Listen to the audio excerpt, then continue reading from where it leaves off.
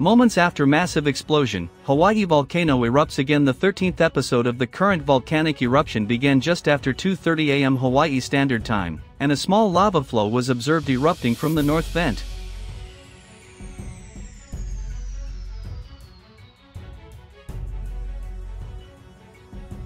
Within 10 minutes, dramatic live video showed lava shooting about 400 to 500 feet into the air. The USGS said all of the eruptive activity has occurred in Hawaii Volcanoes National Park.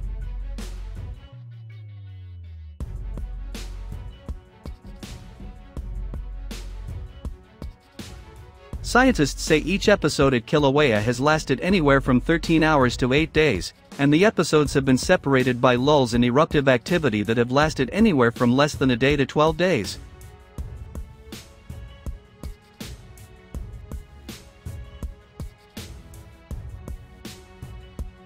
The latest eruption lasted more than 12.5 hours before stopping Tuesday afternoon. With the fiery lava fountains, visitors to Hawaii Volcanoes National Park have been enjoying the stunning views from a safe distance.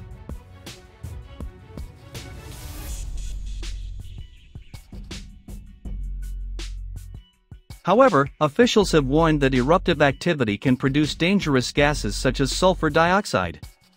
The particles can be especially dangerous for those with heart or respiratory problems. In addition to dangerous gases, Pele's hair is also dangerous.